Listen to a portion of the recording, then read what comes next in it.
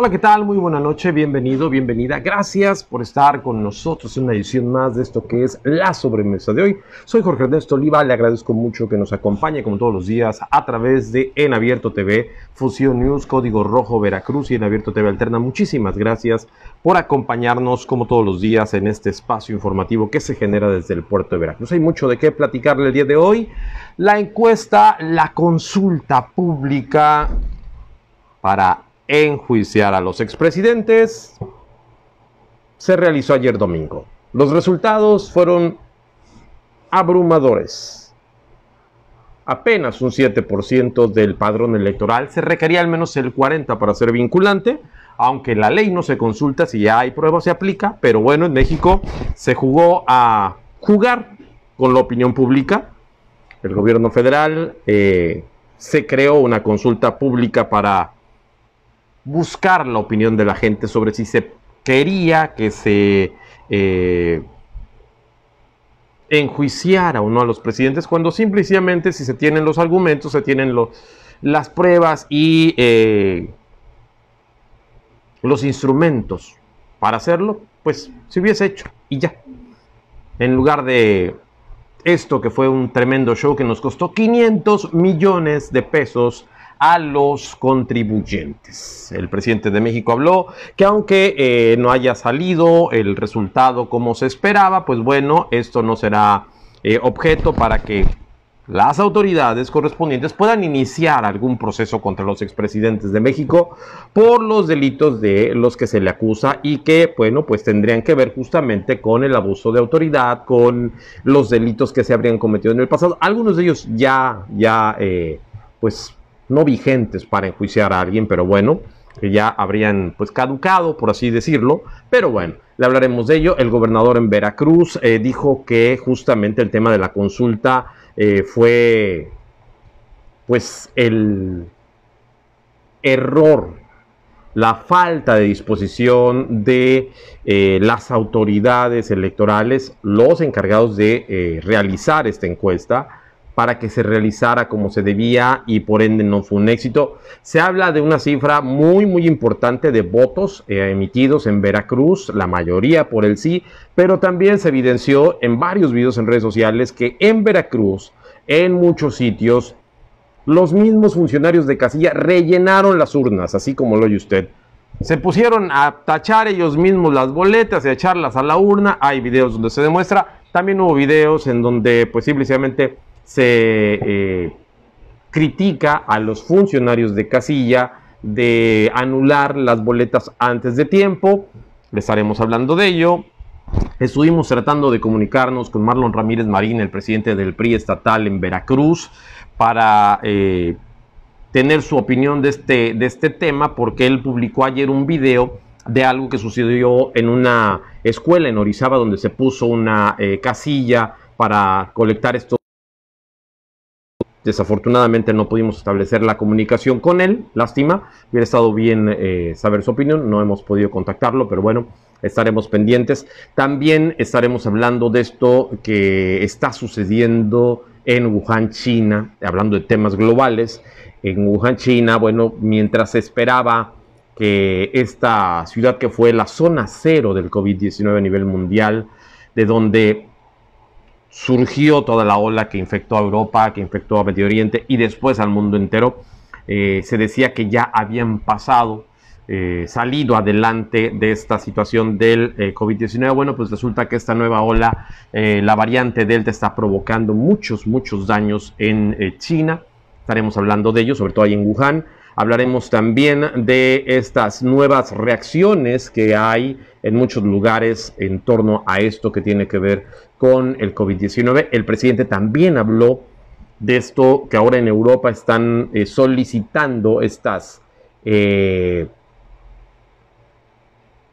medidas estrictas de que si no te vacunas no puedes acceder a ciertos lugares, debes de traer tu padrón, tu eh, carnet de vacunación de que ya estás vacunado contra el COVID-19. Si no lo tienes, pues no te permiten estar en áreas públicas sobre todo. Y que en México dice el presidente que no se va a aplicar. Eh, también en Estados Unidos, eh, se está hablando mucho de este programa de apoyo a los jóvenes inmigrantes, el llamado DACA. Eh, se habla de que el 81% de los beneficiarios son jóvenes que provienen de México y hay temas que se están hablando sobre esto allá y estaremos hablando también en temas locales. Eh, pues de estas medidas contra el COVID-19 que se van a seguir aplicando en Alvarado, se están extremando algunas medidas para evitar esta nueva ola de contagios ante el hecho de que los hospitales, en el caso concreto de Veracruz, están prácticamente ya saturados de casos de COVID-19. En Veracruz, Boca del Río, los hospitales ya están prácticamente a tope en las áreas COVID.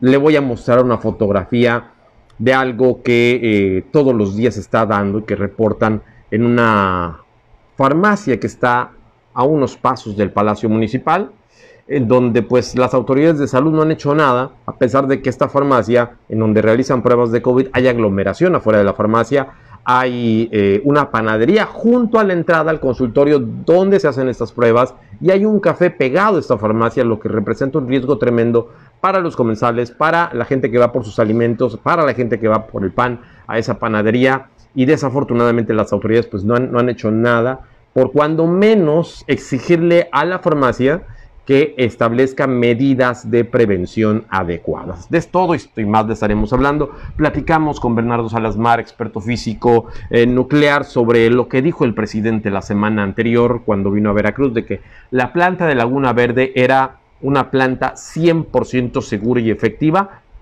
Veremos lo que dijo Bernardo Salasmar acerca de esto, que desafortunadamente, pues a lo que nos comenta este experto, eh, Laguna Verde es todo menos una planta segura. Quédese con nosotros, acompáñeme en este recorrido por eh, el mundo de la información la próxima hora y sobre todo lo del manita arriba, denle me gusta, suscríbase a nuestro canal en YouTube, aquí están, aquí abajito nuestras redes sociales, suscríbase a nuestro canal Abierto TV. Síganos en TikTok, arroba en Abierto TV y denle me gusta a nuestra página de Facebook en Abierto TV para estar pendiente de todo lo que estamos informándole todos los días. Además, recuerde, ya estamos por llegar a los primeros mil suscriptores en YouTube. El número mil, el suscriptor número mil exactamente se va a llevar un premio muy especial de En Abierto TV.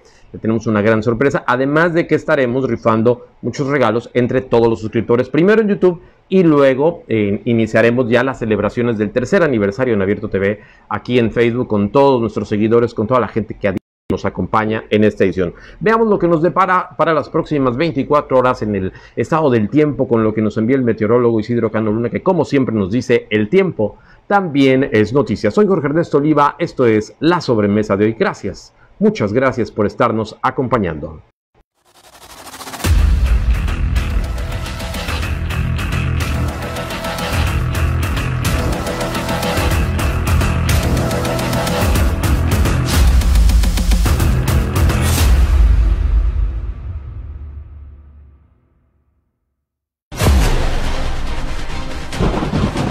Tiempo también es noticia con Isidro Cano Luna. Isidro Cano Luna.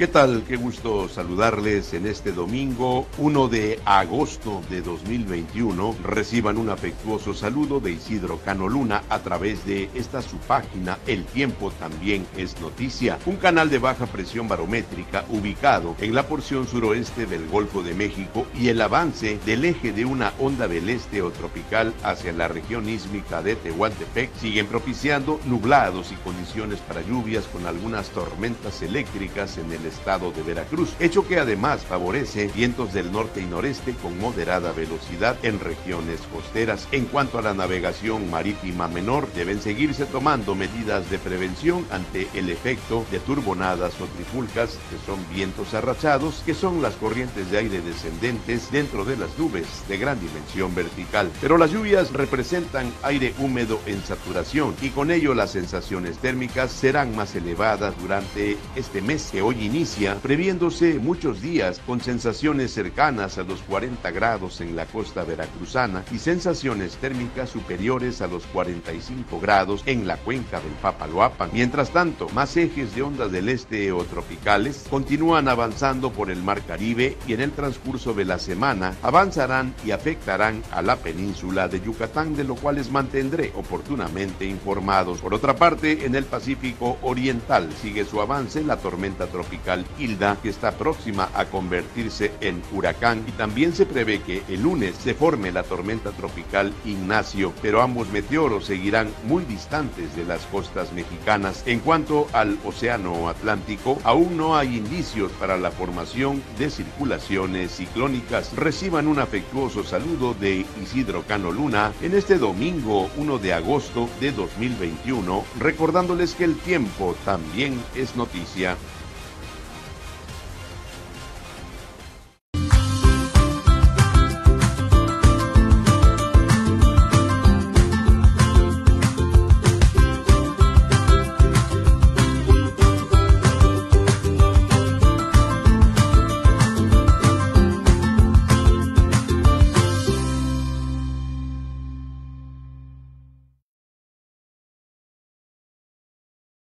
No dejes de disfrutar del sabor más bonito. Debido a la contingencia por COVID-19, en Bonito Café seguimos laborando pero a puerta cerrada. Estamos ubicados en el Boulevard Riviera Veracruzana en el local número 20 dentro de Plaza Riviera. Visítanos responsablemente acatando las medidas sanitarias y respetando la sana distancia. Te esperamos de lunes a sábado de 9.30 de la mañana a 8.30 de la noche y los domingos de 3.30 de la tarde a 8.30 de la noche. Vienes en tu auto, adelanta tu pedido al teléfono 2293 67 98 13. Llevamos tu orden a la puerta de tu vehículo. Recuerda, Bonito Café. No hay nada más bonito.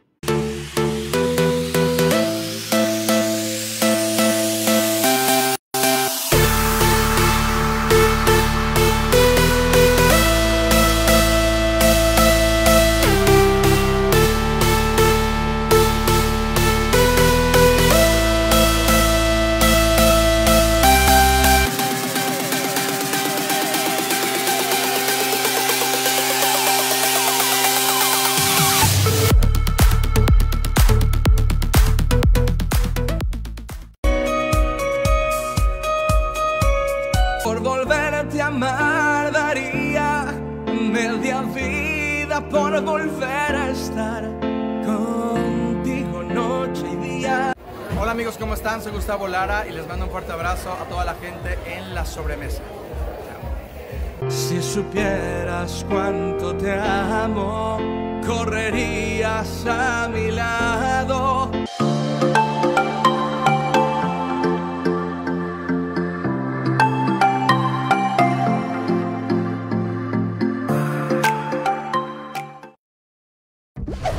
Cinepolis está de regreso. Vivir la mejor experiencia del cine con tu familia y amigos. ¡Te esperamos! El cine es un espacio seguro. Volvamos al cine.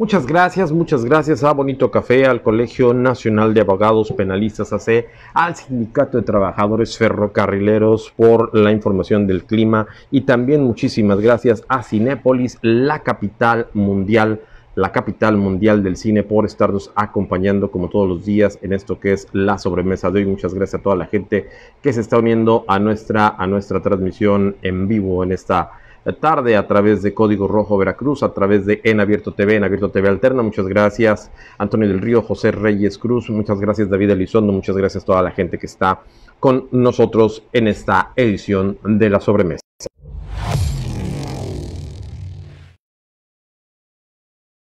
Oiga, un youtuber eh, influencer falleció mientras realizaba pues un video de un reto que estaba eh, pues buscando, buscando eh, concretar sobre todo estos retos que de repente le hemos platicado en varias ocasiones, que en ocasiones son demasiado peligrosos y son muy, muy eh, riesgosos para los jóvenes. Le platico rápidamente que Albert Dinlund, este joven danés que es un youtuber muy conocido, eh, falleció este fin de semana cuando intentaba grabar un video para su página de YouTube. Se precipitó por una, montaña en los Alpes italianos y cayó por eh, una altura de casi 200 metros.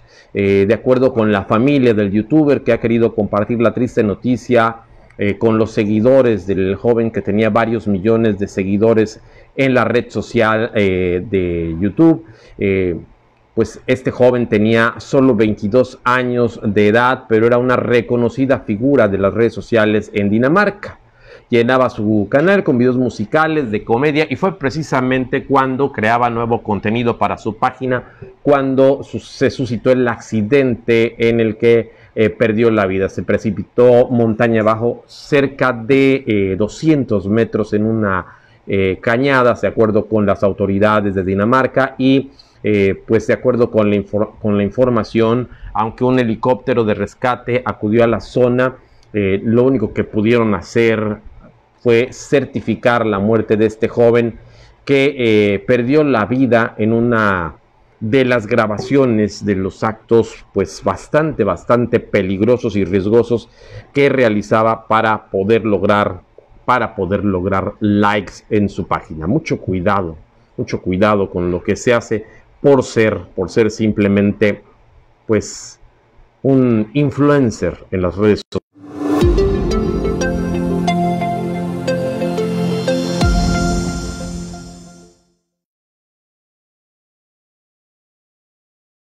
Wuhan, China se ubicó de nueva cuenta entre eh, pues, las ciudades del mundo en el ojo del huracán por el tema del COVID-19. Le platico rápidamente que de acuerdo con las autoridades eh, de Wuhan, China, de nueva cuenta esta población que fue considerada o que es considerada como la cuna del COVID-19 de esta pandemia a nivel mundial enfrenta un brote mucho más amplio que eh, el coronavirus original, el COVID-19, en eh, finales de, de 2019. Le platico rápidamente que de acuerdo con las autoridades de China se enfrenta un brote de COVID-19 más amplio desde que el COVID apareció por primera vez a finales de 2019 en aquella nación. De acuerdo con las autoridades sanitarias, el... Eh, variante Delta del COVID-19 se ha extendido a lugares que habían estado libres del virus durante meses, incluido el epicentro original eh, considerado como Wuhan. La cepa Delta, de acuerdo con las autoridades, ha superado las defensas contra el virus en el país, que son algunas de las más estrictas del mundo. Llegó a casi la mitad de las 32 provincias de China en solo dos semanas. Si bien el número total de infectados que hasta ahora se han dado a conocer en aquella eh, nación eh, suman más de 300, sigue siendo menor que el resurgimiento del COVID en otros lugares. Se habla de que la variante eh, Delta ha tenido una amplia propagación debido a que esta se estaría, se estaría moviendo más rápido de lo que el virus original.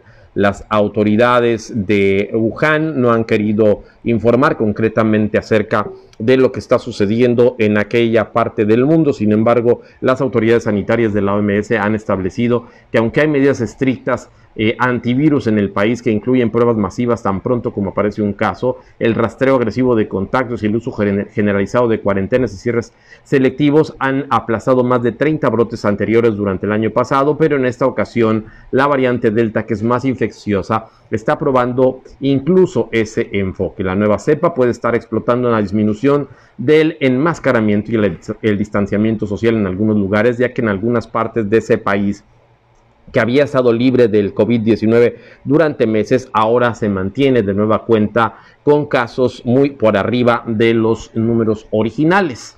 Esto junto con el aumento de viajes para las vacaciones de verano que creó un entorno en el que el Delta podría afianzarse. China apenas ha reportado 99 infecciones el lunes, incluida 44 que dieron positivo pero no presentaron síntomas y se descubrió más tarde que 7 personas que estaban infectadas en Wuhan, otra más en Beijing, por número de casos es el brote, de acuerdo con las autoridades, más grande desde un brote en la provincia de Hebei, en el noreste de China, en enero cuando 2.000 personas se infectaron. De acuerdo con el subdirector del Centro de Prevención y Control de Enfermedades de Beijing, Pang Xinhuo, eh, se suplicó a los visitantes de la ciudad que han viajado desde áreas de alto riesgo dentro de China y que sospechan podrían haber estado en contacto cercano con personas infectadas, informar a las autoridades esto para poder lograr acciones concretas que puedan evitar la propagación de esta nueva cepa de la enfermedad. Las autoridades también instaron a los residentes a frenar sus viajes y a permanecer en la ciudad en un futuro cercano si esto es posible. Se han producido brotes en racimo uno tras otro en el país y se ha reportado múltiples casos en Beijing, lo que ha llevado a una fase crítica en nuestra respuesta a la epidemia, dijo el funcionario. No podemos dejar escapar una sola hebra de riesgo y peligro y peligro oculto. Wuhan, de nuevo, en la en el ojo del huracán por la ola de contactos de esta variante Delta que llegó a mediados de julio a través de un vuelo al extranjero desde Moscú a la ciudad de Nanjing en el este de China.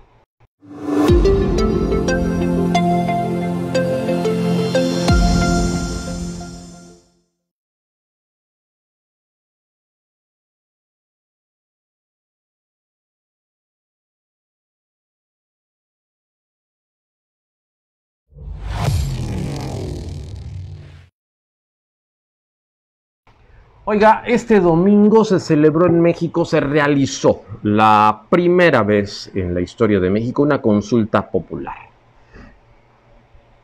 Hubo de todo, hubo quienes dijeron que la consulta popular fue un éxito por la cantidad de sí a esta eh, pregunta que pues realmente no era la que estaba en la boleta, pero era la que se estuvo promocionando, que era el ¿Quiere usted enjuiciar a los expresidentes? Eso no decía la boleta, pero eso fue lo que Moreno promocionó.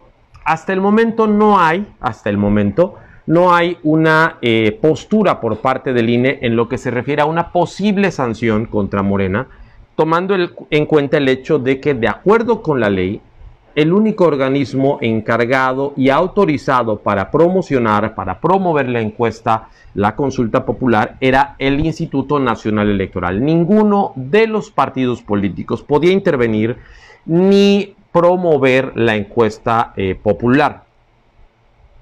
La pregunta es por el hecho de los recursos que Morena gastó para promover la encuesta. En la Ciudad de México hubo reportes de personas que eh, acusaron que personal de Morena, que gente, eh, brigadistas llegaban a sus hogares a preguntarles si iban a participar en la encuesta, a pedirles les mostraran la credencial de elector, cuántas personas mayores de edad habitaban en esa vivienda y cuál era el sentido del voto que iban a emitir en la encuesta eh, realizada el día de ayer.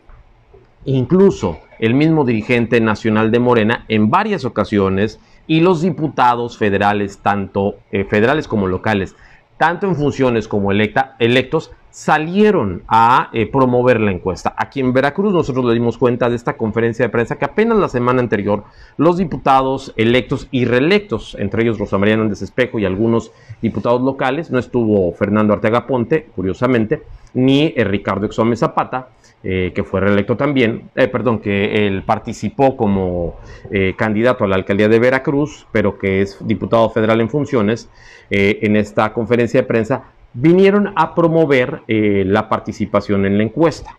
Con todo esto, el porcentaje que se logró de participación en la encuesta pública que se realizó este fin de semana no alcanzó el 40%, el 40% de eh, el padrón electoral que debía de, eh, darse para lograr justamente, para lograr justamente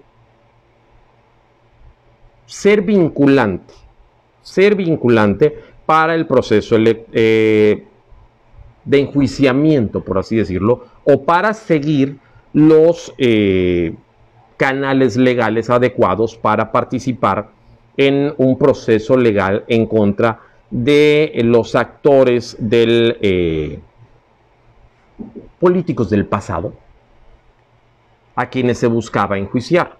De acuerdo con el INE, el total de la participación que se dio fue de apenas un 7.07%, fue la estimación de participación en la jornada que se realizó el día de ayer justamente para eh, pues darle seguimiento a esta, a esta propuesta de eh, llevar ante la ley, de acuerdo con la pregunta que se realizaba, a los actores de la ley eh, a los actores políticos del pasado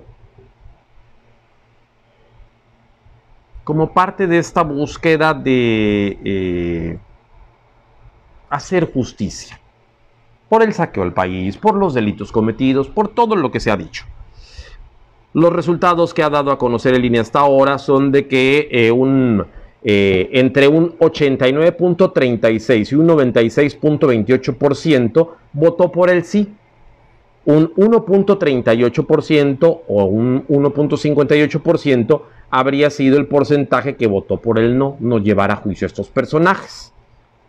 A final de cuentas, el resultado de la encuesta no fue el que las autoridades federales eh, esperaban, lo que se había dicho. Incluso el propio presidente de la República había dicho ya en varias ocasiones que él no iba a participar en la consulta pública. Aquí nosotros se lo dijimos varias veces. Esta encuesta, desde que nació, eh, nació muerta. ¿Por qué? Porque era igual a la rifa del avión. A final de cuentas, fue una rifa de un avión que no le pertenece al gobierno federal, pertenece a Boeing Financial, se lo ha dicho en varias ocasiones la misma empresa. El avión no se lo iban a entregar a quien ganara la rifa. Hay hospitales y escuelas que siguen esperando los 20 millones del cachito que supuestamente eh, ganaron o que, mejor dicho, que tienen en su poder y con el que supuestamente ganaron esa, esa rifa y no se los han entregado. Esta encuesta, al haberse cambiado la pregunta por parte de la Suprema Corte de Justicia de la Nación, en ningún momento decía que se iba a llevar a juicio a los expresidentes, mucho menos a los actores políticos del pasado, porque lo único que decía era, pues a final de cuentas, ¿te gustaría que se investigara sí o no? Palabras más, palabras menos, los hechos del pasado para el esclarecimiento de los mismos, o sea, no para investigar y castigar, para el esclarecimiento, o sea, para saber quién fue, quién lo hizo, pero nada más. Hoy el presidente de México en su conferencia de prensa mañanera habló de este tema, eh, dijo que aunque no hubo resultados concretos, pues prácticamente dijo, no pasa nada. O sea, a final de cuentas, las autoridades eh, judiciales, la Fiscalía General de la República, si quiere, así lo dijo el presidente, prácticamente si quieren. Ellos pueden hacer su investigación, pueden hacer, eh, abrir un proceso, abrir las carpetas. en pocas palabras, el presidente le dio la razón a todos esos detractores de la encuesta, de la consulta, que dijeron desde el principio que nos estábamos gastando, porque a final de cuentas eran recursos suyos, míos, del vecino, de la vecina, que pagan impuestos, de todos los contribuyentes, se estaban gastando 500 millones de pesos a lo tonto. Esto, esto fue lo que dijo el presidente de este tema de la consulta pública y de paso le muestro también lo que dijo a propósito del tema del COVID en Wuhan, China y de lo que está pasando a nivel nacional, que contrario a lo que está pasando en Europa, que hay países que ya están exigiendo el carnet de vacunación donde demuestra que ya estás vacunado ya sea con las dos dosis de, de Pfizer, con la dosis única de AstraZeneca, con la dosis única de CanSino, con la dosis de la Sputnik. Si no estás vacunado, no puedes estar en áreas públicas o en ciertos lugares. Eso es lo que están haciendo en Europa. Digo que en México esto no se va a aplicar porque aquí no se quiere imponer absolutamente nada. Pero veamos primero qué fue lo que dijo de la encuesta, de la consulta.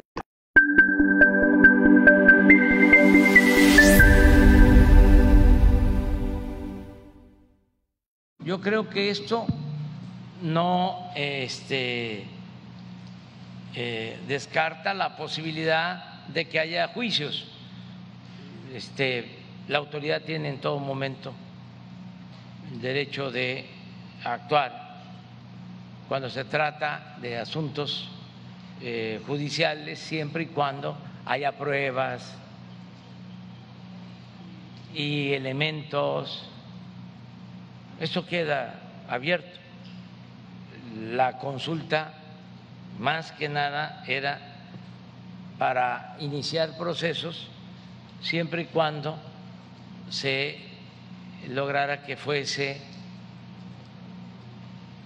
pues eh, con una participación del 40% y de esa manera vinculatoria. Pero de todas maneras, de todas maneras, este eh, es importante. Ahora en Europa hay manifestaciones muy fuertes porque están pidiendo una identificación de vacuna para eh, moverse o para entrar a centros comerciales o a restaurantes y la gente se está oponiendo a eso. En el caso de México nosotros no vamos a pedir ese tipo de eh, comprobantes. Eso está muy claro. Pero sí eh, cuidar eh, que no haya contagios. Están ahora creciendo los contagios, pero afortunadamente como ya se vacunó a casi todos los adultos mayores. Ha disminuido mucho el número de fallecimientos. Ahora los contagios tienen que ver más con jóvenes que son más resistentes y además que todavía no son vacunados.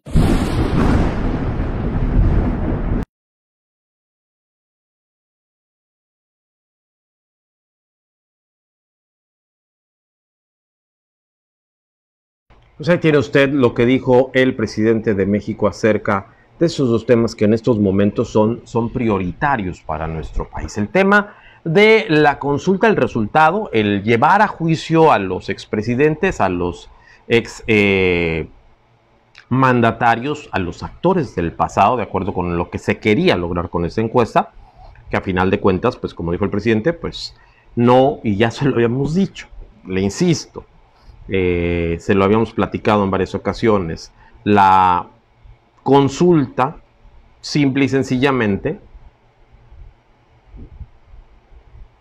aunque podría ser vinculante, era muy difícil que sirviera de algo, porque si en un proceso electoral formal, con campañas, con todo y el acarreo que hacen los partidos políticos, la participación de estos y todo, simple y sencillamente no se logran en ocasiones participaciones ni siquiera del 50%, mucho menos del 50%, pues que la gente saliera en esta ocasión a participar en una encuesta, en una consulta, ir a una urna, a, a formarse una fila para emitir su voto, pues iba a ser muy difícil. Incluso quienes decían que esto era un ejercicio para saber cuál era el voto duro de Morena, pues simple y sencillamente ni siquiera eso sirvió. Porque si recuerda usted el monto de votos que obtuvo Morena en el pasado proceso electoral, alrededor de 18 millones de votos, pues no es ni por mucho la cantidad de votos que se aplicaron en la, en la consulta. No es el voto duro de Morena como para que dijéramos, cuando menos, esos 32 millones que votaron por el presidente salieron a respaldarlo en esta, en esta consulta pública. No fue así. Pero bueno, antes de mostrarle lo que dijo el gobernador del estado, Cuitlavo García Jiménez, quiero mostrarle una imagen a propósito del tema del COVID-19, de lo que dijo el presidente de que no se va a exigir eh, este carnet de vacunación y que la gente se vacune forzosamente para poder hacer su vida normal. Eh, o pueda realizar sus actividades normales como está pasando en Europa, como ya pasa en Francia, que el presidente de Francia exigió que todos los ciudadanos se vacunen o que habrá restricciones contra quienes no se quieran vacunar para no poner en riesgo a los demás. Le quiero mostrar esta imagen que me hicieron llegar de lo que está llegando a algunos planteles educativos de cara a esto que será el regreso a clases presencial que, insiste el presidente, tiene que hacerse el próximo 30 de agosto. Este es el kit que le están mandando los planteles educativos, ve usted. Eso es para una escuela de dos pisos y cerca de 20 salones. Si podrá ver usted ahí en pantalla, son apenas 2, 4, 6, 7, 8, 9 botellas de 8 botellas de cloro, 7 botellas de cloro y 2 botellas de jabón líquido, una jerga, una eh, franela, una bolsa grande de jabón, una escoba. Eso es lo que están enviando de kit de limpieza, de sanitización a los planteles educativos.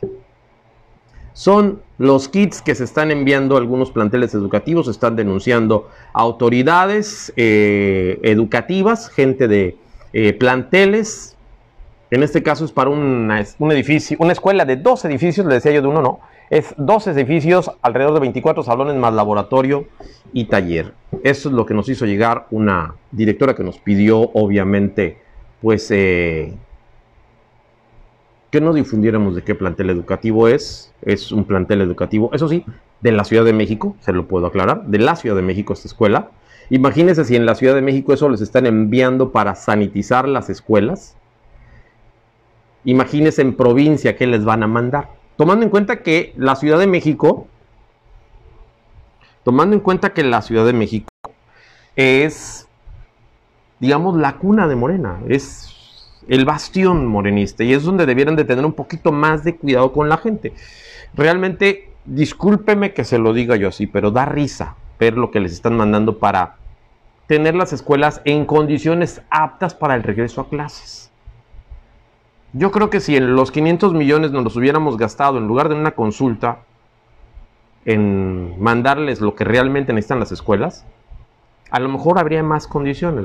Eso sin contar, sin contar que obviamente los planteles educativos van a de nueva cuenta decirle a los padres de familia, oigan, échenos la mano, vénganse a limpiar, vénganse a hacer faena, vénganse a cortar la hierba, que seguramente ya volvió a crecer a otra de nueva cuenta porque, por ejemplo, yo hace ya un par de meses, sino que tiene un poco más, me tocó ir a hacer faena a la escuela de mis hijas y había bastante hierba. Obviamente, si ahorita volvió a llover, pues la hierba que nosotros cortamos ya volvió a crecer. No he pasado por la escuela, lo confieso, pero le puedo asegurar que ya otra vez está altísima la hierba y nos va a tocar otra vez ir a, cortar. Eh, y le va a tocar, seguramente si usted tiene hijos en edad escolar, y está usted en la disposición de que sus hijos regresen a clases el próximo 30 de agosto, aunque no haya las condiciones sanitarias ni las condiciones de eh, eh, salud.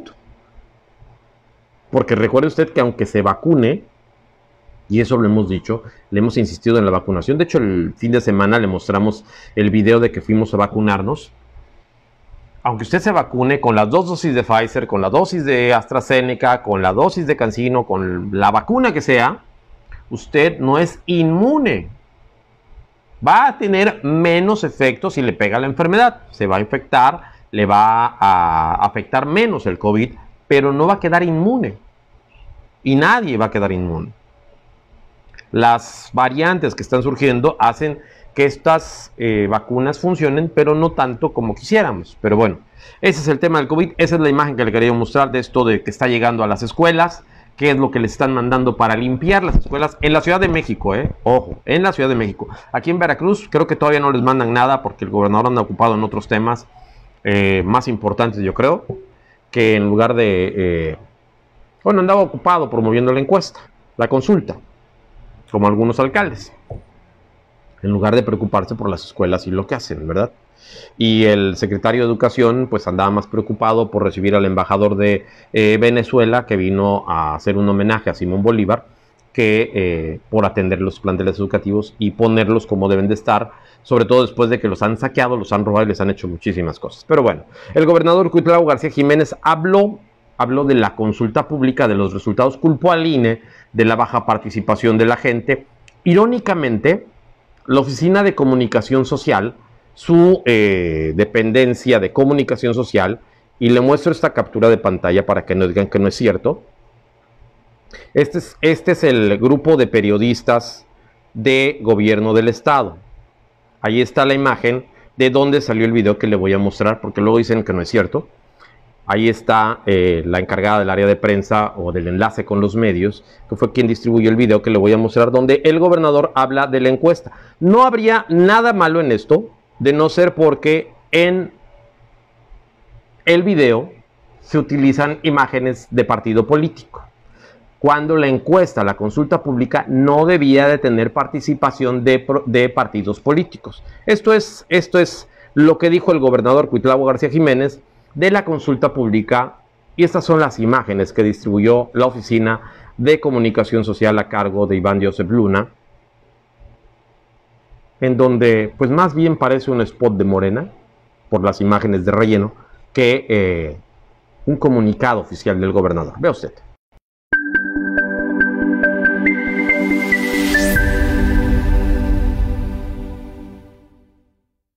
Asimismo, no puede dejarse pasar que fue evidente que en este primer ejercicio nacional el INE no estuvo a la altura. El intento de este instituto por desalentar la participación ciudadana, mover y quitar casillas de último momento, desorientar en las casillas, no instalar para ciudadanos en tránsito casillas especiales. En Veracruz, el solo instalar un tercio de las mismas y dejar 30 municipios sin ninguna casilla siquiera, lo dejan muy en claro. No cabe duda que las estructuras del poder que dejaron los expresidentes de México y que permanecen todavía, actuaron en su defensa. Si queremos avanzar en nuestra incipiente democracia, será inaplazable finiquitar dichas estructuras del régimen caduco y vapuleado en el 2018 por el voto masivo de la gente. Consecuentemente, creemos que el Instituto Nacional Electoral está demostrando inoperancia ante los nuevos retos democráticos que se le exigen. Los representantes populares en el Congreso de la Unión deberán tomar cartas en este asunto. Otra característica de este ejercicio es que el sí arrasó. Los 30 años neoliberales pasados y sus ejecutores fueron reprobados en esta primera experiencia de recabar la opinión de la gente. La consulta se convirtió en un juicio popular sumario, que si bien no alcanzará para vincularlos al juicio legal a los pretendidos enjuiciados, quedan deslegitimados y señalados por el contundente rechazo del pueblo, pues este ejercicio, como fue un muestreo del sentir de la gente.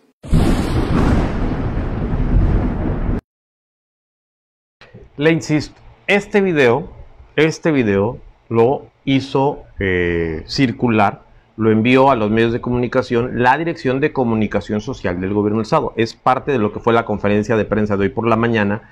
Y como usted puede ver en varias ocasiones, las imágenes eh, son de Morena. Se supone que era una encuesta, una consulta ciudadana. Se supone que eh, el Movimiento de Regeneración Nacional no podía participar en la consulta. Uno. Dos. No debían de haberla promovido porque por ley solamente el INE debía de haberlo promovido. Si el INE cometió errores, si el INE incurrió en fallas en la promoción, es tema aparte y deberá de sancionarse en su momento. Pero lo que sí queda claro aquí es que hoy el gobernador del estado con recursos del Estado, en horario de trabajo, en un día hábil, en una conferencia de prensa programada por el gobierno del Estado, por la Dirección de Comunicación Social, utilizó tiempo de gobierno del Estado, espacios de gobierno estatal, para promover a un partido político, para promover a Morena. Habiendo tantas imágenes que podían haber distribuido, hoy el gobierno del Estado utilizó imágenes donde se ve las mesas de Morena, gente con camisas con el logo de Morena, incluso una imagen ahí del gobernador que, eh, digo, ya no sé si son sus amigos o son sus enemigos. Si lo quieren ayudar, digo, Iván Joseph Luna, eh, qué tristeza que en lugar de apoyar la imagen del gobernador, distribuyan, distribuyan una imagen, distribuyan, no, distribuyan una imagen donde se ve al gobernador con ese casco y esa mano pintarrajeada, cuando podían haber mejor metido en ese video que subió eh, Fanny Yepes, la maestra Fanny Yepes, y todo mi respeto a la maestra, obviamente ella no se manda sola, pero eh, que subió a la página al grupo de WhatsApp de periodistas de Veracruz como la versión oficial del gobierno del estado en torno al resultado de la consulta. Esto fue parte de la conferencia de prensa hoy de la mañana, pero pues digo, o de plano, Iván Joseph Luna es muy bruto, perdónenme usted la, la palabra, o de plano quiere afectar la imagen de su jefe, que es el gobernador del estado. En fin, ¿qué sucedió durante la contienda? Bueno, durante la jornada de esta consulta pública, el dirigente estatal del PRI, Marlon Ramírez Marina, quien le digo, estuvimos tratando de localizar, pero pues no nos contestó la llamada, allá él, eh, publicó un video en redes sociales de lo que estaba sucediendo en una escuela en Orizaba. Funcionarias de casilla tachando las boletas, doblándolas y metiéndolas a las urnas, lo que coloquialmente se le llama embarazar las urnas en una encuesta pública que al final en Veracruz dio una votación altísima. Pero si eso pasó en Orizaba, ¿qué nos podemos esperar que haya pasado en otro lado? Ve usted lo que se distribuyó en redes sociales de lo que pasó en esta, en esta jornada de esta consulta pública en el Estado.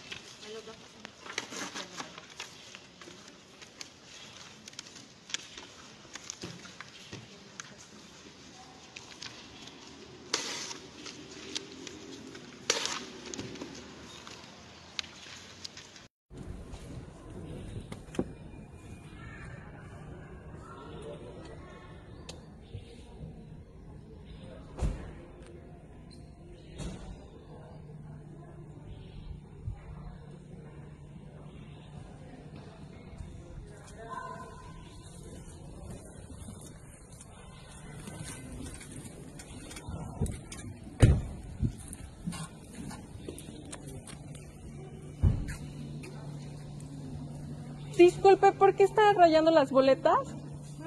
¿Por qué están rayando las boletas? Los tengo en un video. ¿Puedo acercarme a ver? No, pero soy ciudadana y puedo ver. ¿Me puede mostrar qué es lo que está rayando? Está rayando las boletas, ¿verdad? Bueno, todos están grabados. Y dejaron de rayarlas.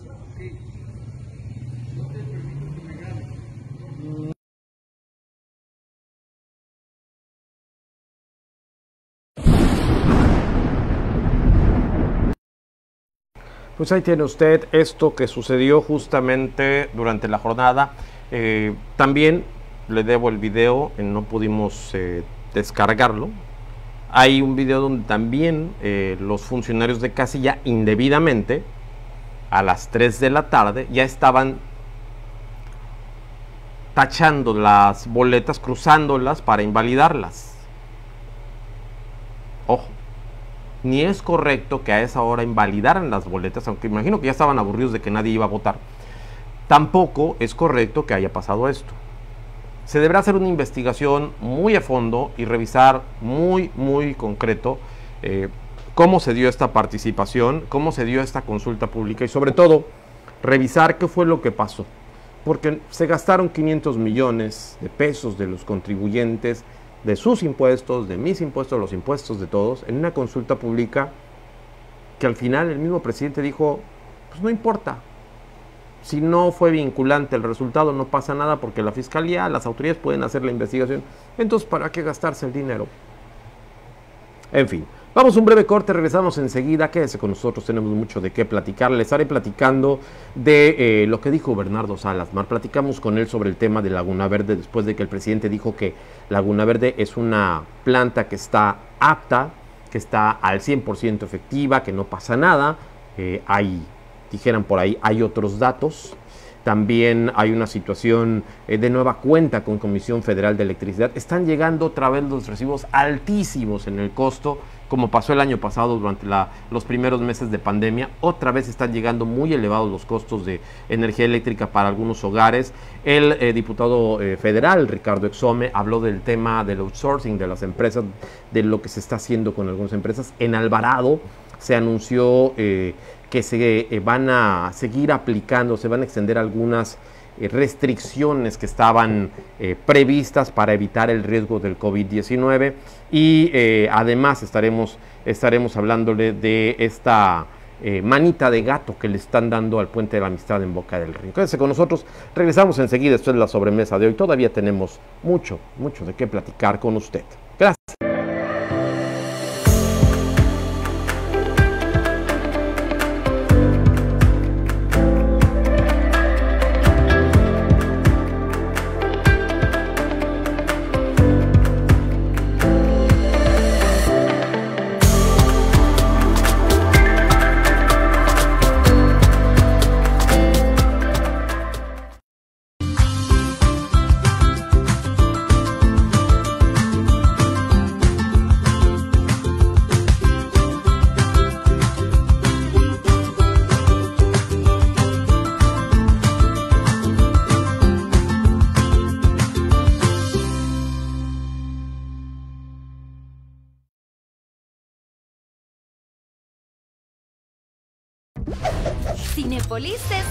Regreso. Ven a vivir la mejor experiencia del cine con tu familia y amigos. ¡Te esperamos! El cine es un espacio seguro. Volvamos al cine.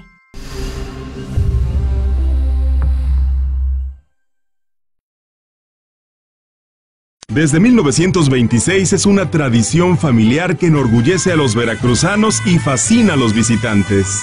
Y tres generaciones no pueden estar equivocadas, porque el sabor de un gran café se reconoce de inmediato. En el centro histórico de Veracruz, Gran Café del Portal, sabor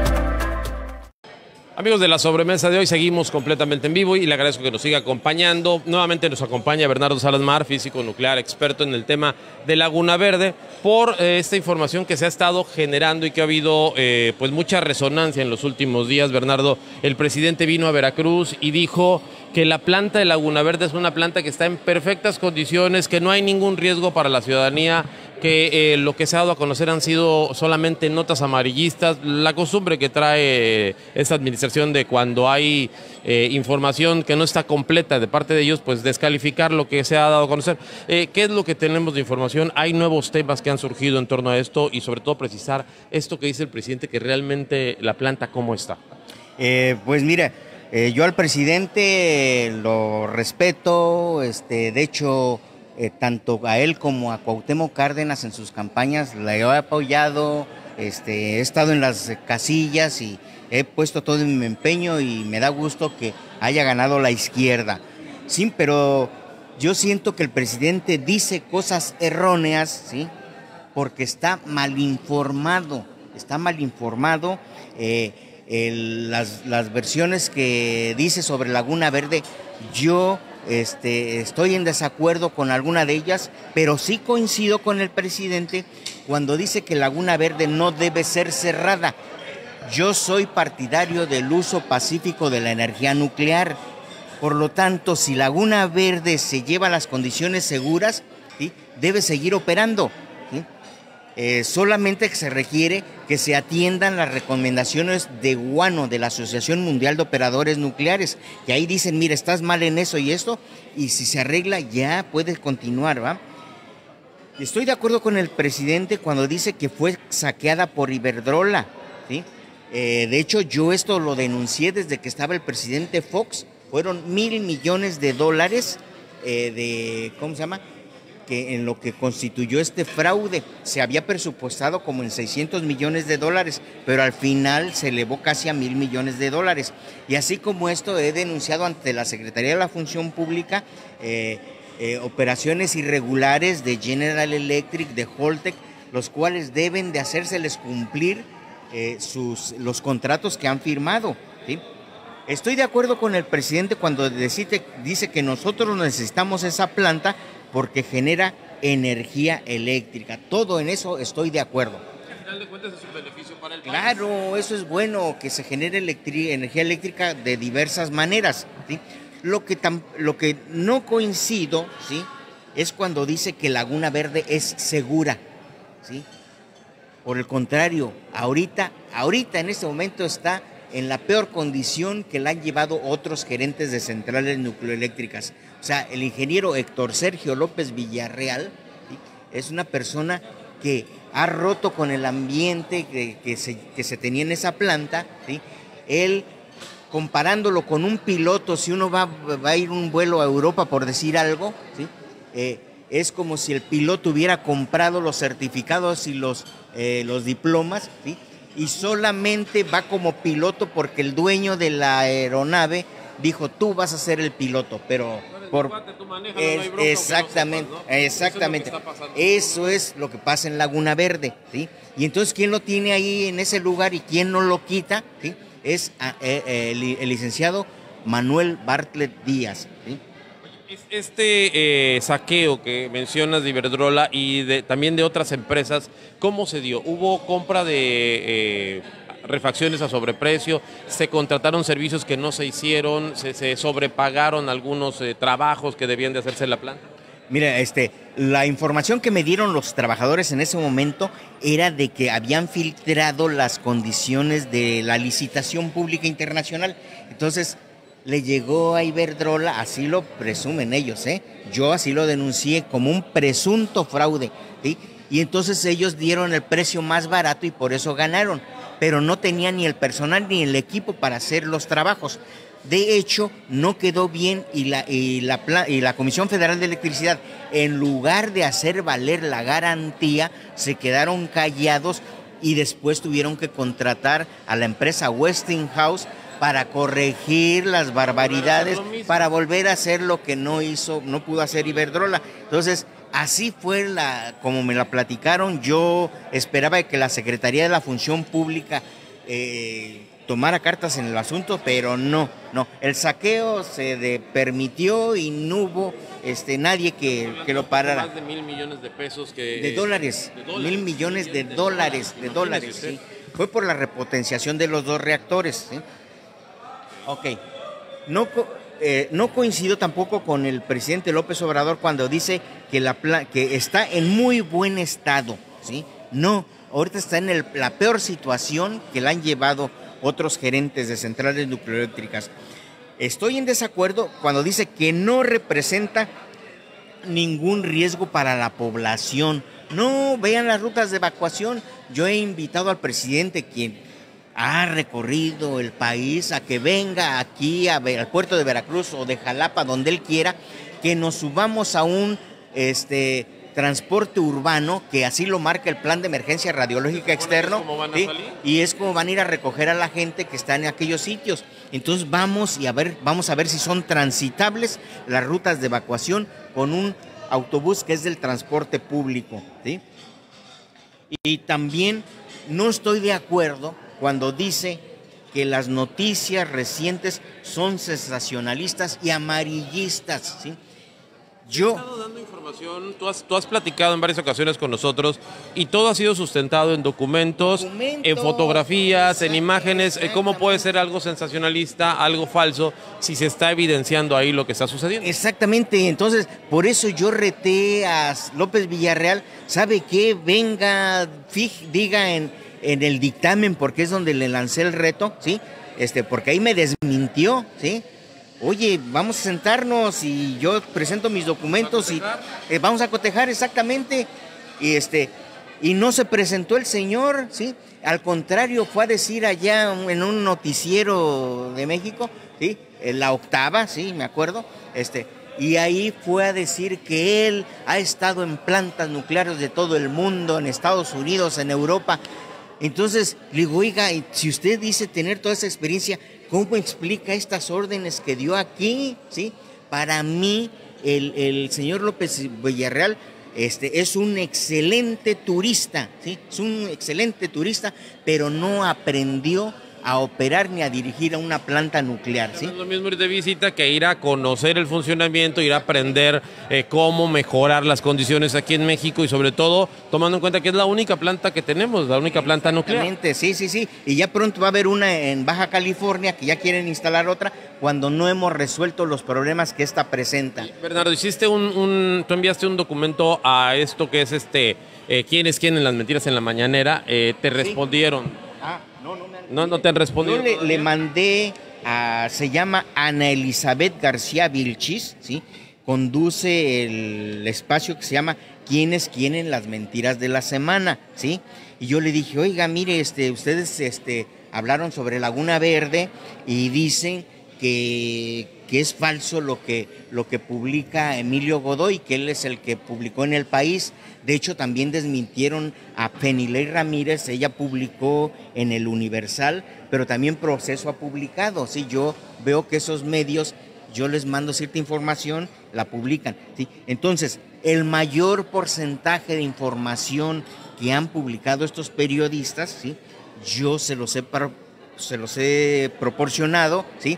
Y entonces el hecho de que digan que es este eh, amarillismo y sensacionalismo, entonces de eso me está acusando a mí el presidente, ¿sí? Cuando yo le digo, oiga, yo tengo los documentos, demienta los documentos, ¿sí? Yo estoy basado en documentos y en cambio ellos lo único que se dedican es venirse a tomar la foto allá en Laguna Verde, arrastran entre las patas también al, al ingeniero Cuitlagua García, ¿sí? Y ya, y creen que con eso ya Laguna Verde va a ser una planta eh, de excelencia. Una foto de, de funcionarios afuera de la planta, pues digo, si eso fuera, cualquier cosa se mejoraría tomándose una foto nada más. ¿no? Por supuesto, sí. Entonces, no hay seriedad, no hay profesionalismo.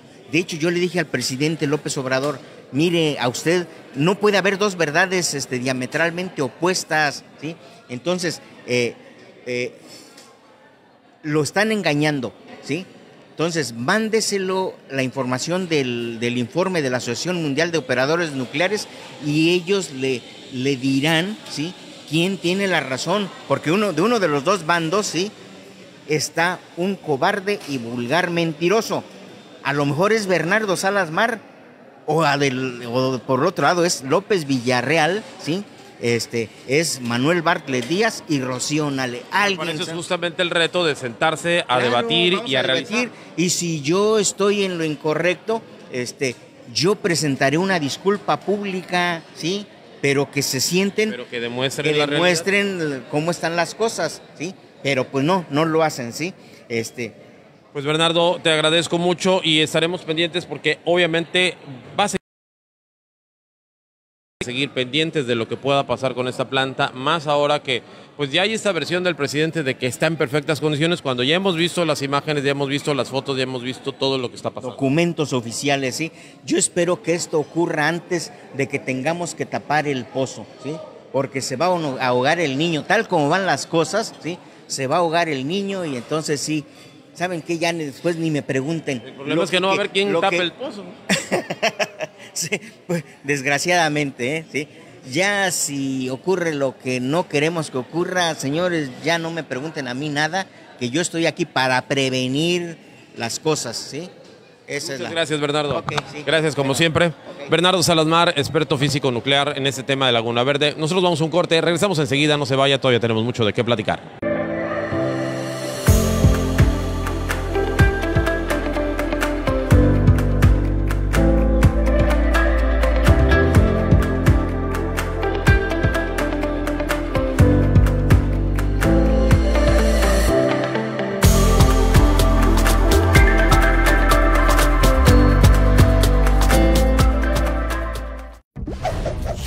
Cinepolis está de regreso.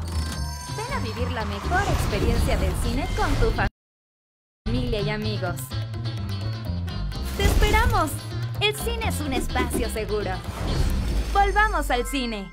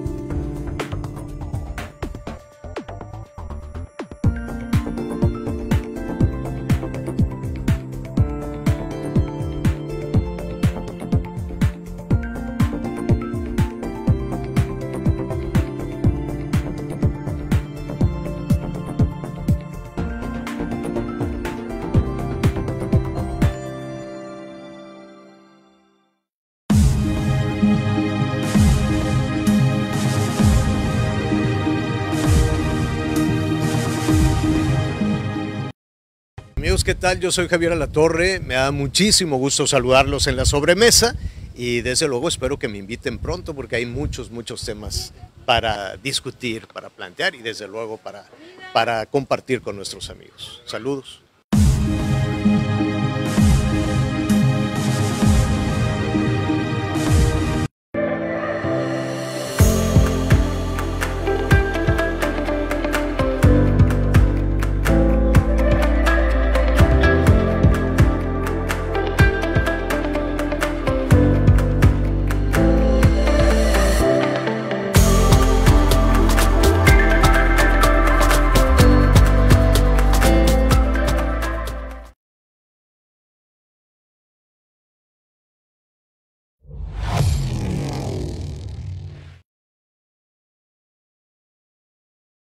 Ya regresamos, gracias por seguir con nosotros en la sobremesa de hoy. Oiga, de nueva cuenta hay problemas con Comisión Federal de Electricidad.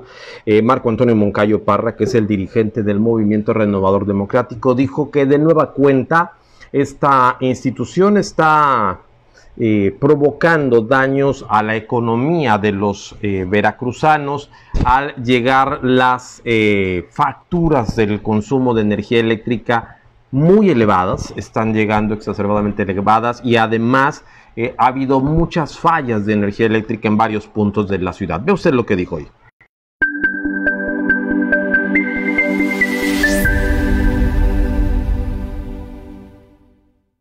Hemos detectado desde las redes sociales y de los reportes telefónicos que he tenido de varios este, problemas de apagones que están existiendo por falta de mantenimiento y aparte eh, hemos visto que la gente del departamento de quejas de 071 no contesta y cuando te contesta te dice que, eh, por ejemplo, alguien del, poste a su, casa tiene un problema el cable, eh, dice en 10 horas te resuelven y no, pasan hasta 72 horas y no te resuelven.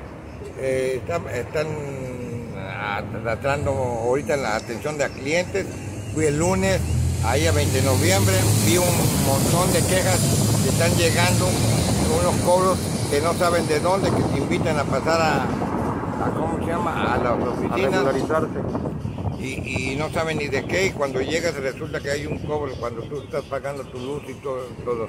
Hay cosas muy extrañas que están pasando, eh, están llegando algunos que te cambian el medidor y de repente te llegan con 20 mil pesos o sea, desmedido. Eh, no sé qué está pasando de 12 días o 13 días para acá. ¿Ha habido cambios en comisión? Acaban de informarme hoy en la mañana, exactamente. Yo declaré hoy en la mañana, pero me acaban de informar de que regresó este señor Ernest Tecto, el que nos había soleado mucho tiempo con las mismas circunstancias. O sea, a su regreso, e, esta persona, pues hay ahorita hasta robo de cable, vuelve, vuelve todas las mismas andadas Comisión Federal.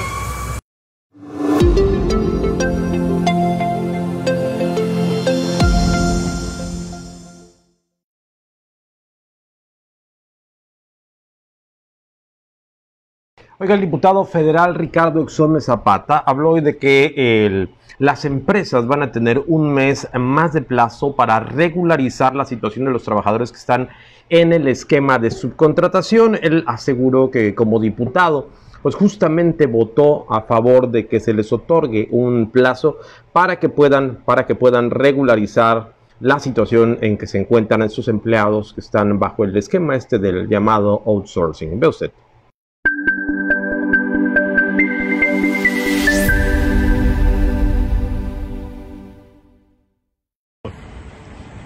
Como diputado voté a favor de que se le dé un mes más a las empresas para que regularicen la situación de los trabajadores que están en el esquema de subcontratación.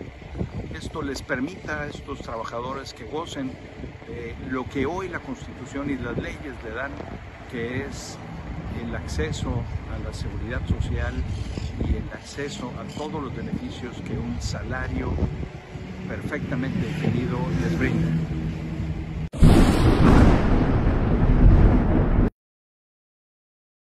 Así las cosas con el tema de este de los trabajadores que tienen que ver con el outsourcing. El diputado local Jaime de la Garza, diputado local electo Jaime de la Garza, se reunió con integrantes del sector turístico de Veracruz para empezar a trabajar sobre lo que serán las líneas legislativas que habrán de aplicarse una vez tomando posesión.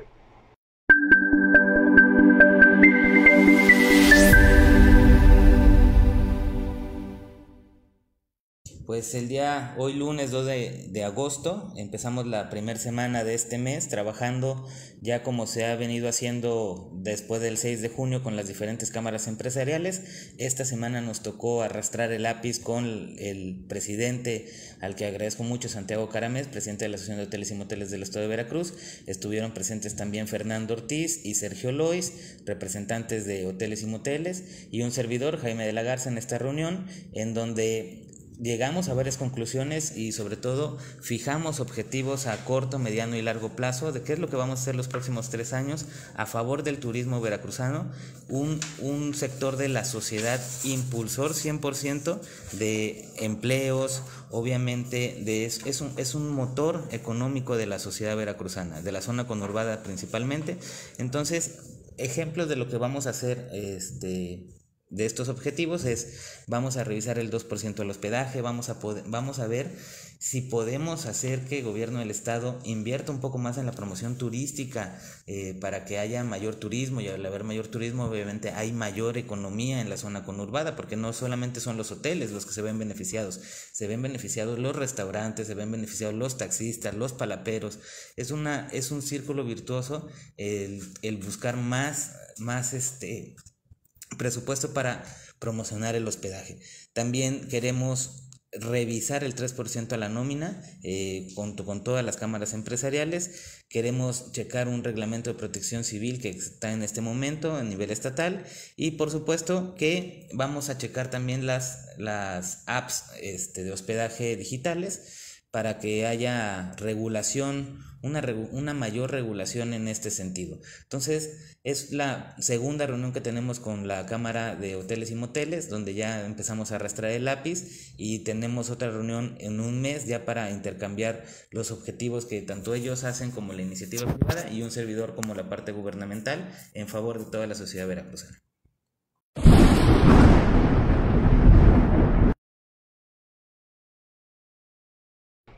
Así las cosas con lo dicho por Jaime de la Garza. Vamos, vamos con Mike, el caricaturista. Antes de ir con Mike, el caricaturista, le presento esto. En Alvarado, Veracruz, se anunció eh, que habrá ampliación en algunas eh, medidas que se están aplicando para el control del tema del COVID-19.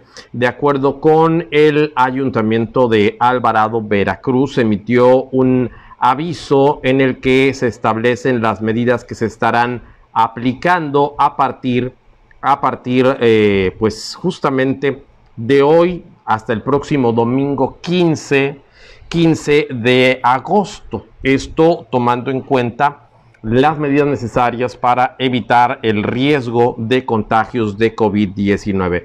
El eh, gobierno municipal de Alvarado, que preside Bogar eh, Ruiz Rosas, estableció que habrá cierre de establecimientos considerados como bares, centros nocturnos, gimnasios, cines, albercas, centros comerciales, espacios públicos, iglesias, panteones, etc. Los eh, hoteles solo tendrán ocupación del 25%, no para actividades turísticas, sino trabajadores de actividades esenciales.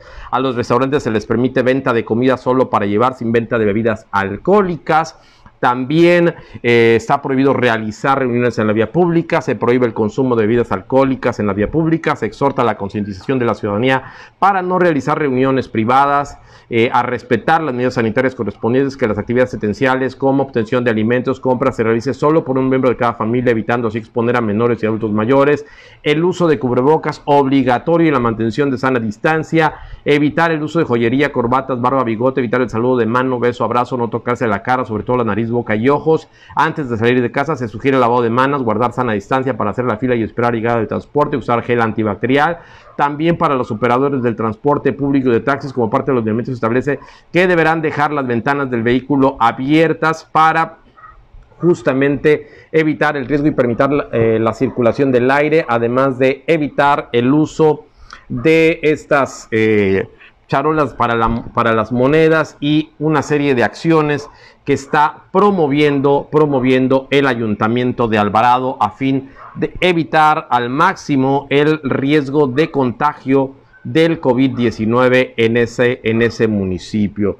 Eh, obviamente están pidiendo que, entre otras cosas, se logre, se logre, eh, se busca, perdón, se busque controlar la enfermedad con desinfección frecuente para taxis y unidades de transporte público, y además en los taxis solamente podrán viajar hasta tres pasajeros por unidad, utilizando solamente la parte trasera dejando libre el asiento del copiloto. Estas son las medidas que se están intensificando en Alvarado, Veracruz ante el eh, brote de COVID-19 de esta nueva cepa Delta que está afectando mucho y que, de acuerdo con lo que se ha dado a conocer, simple y sencillamente pues ya tiene, ya tiene a los hospitales, a los hospitales con una prácticamente eh, ocupación al 100%.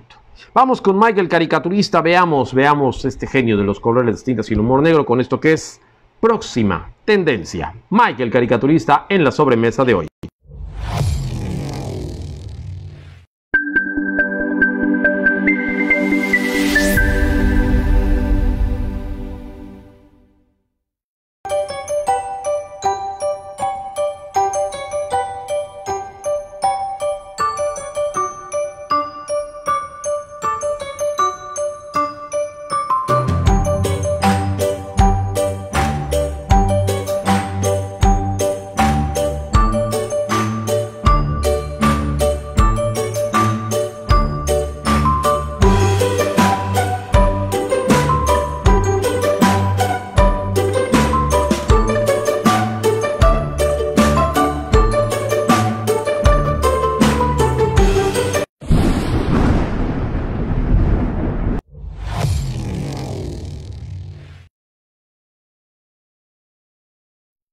Muchas gracias a Michael Caricaturista, muchas gracias por su genialidad como siempre en este espacio informativo de la sobremesa de hoy. Gracias a usted que nos acompañó el día de hoy, gracias contador José Reyes, Antonio del Río, Huerta MA, María Elena López, Josefina Cruz, muchísimas gracias eh, a toda la gente que le dio manita arriba, le dio compartir, a quienes se han suscrito, aquí están nuestras redes sociales, aquí puede ver usted.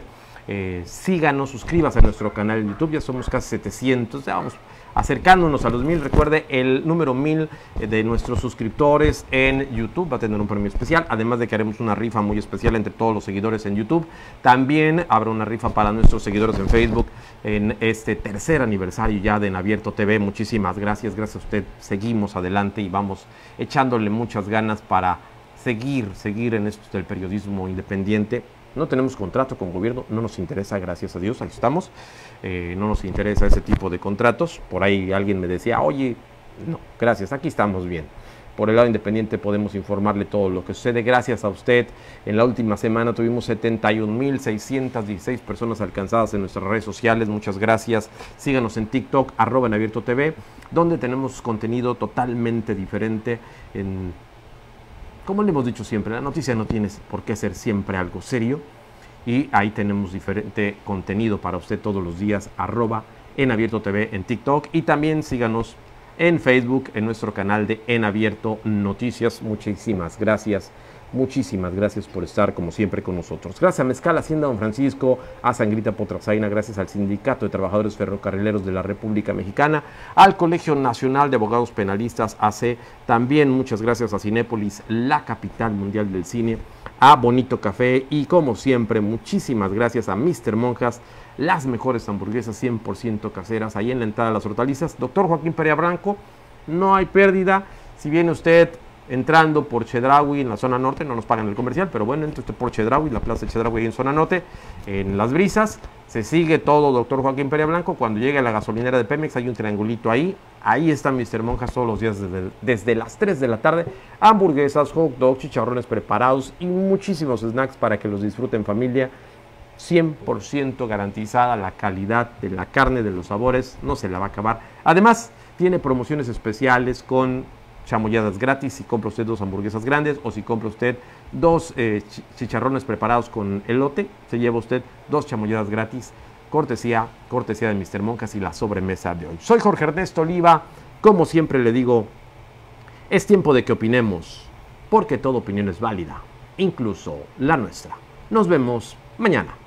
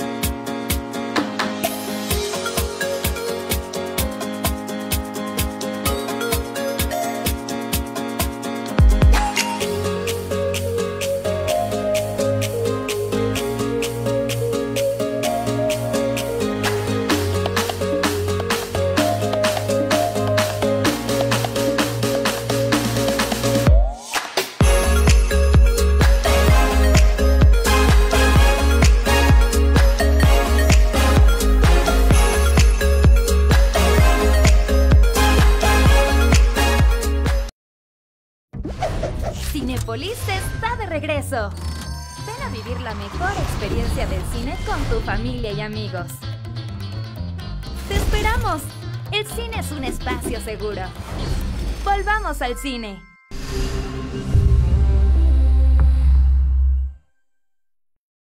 Desde salir muy temprano a correr al bulevar, caminar por la calle con tranquilidad, no importa la hora, todo lo que compone nuestra rutina de todos los días.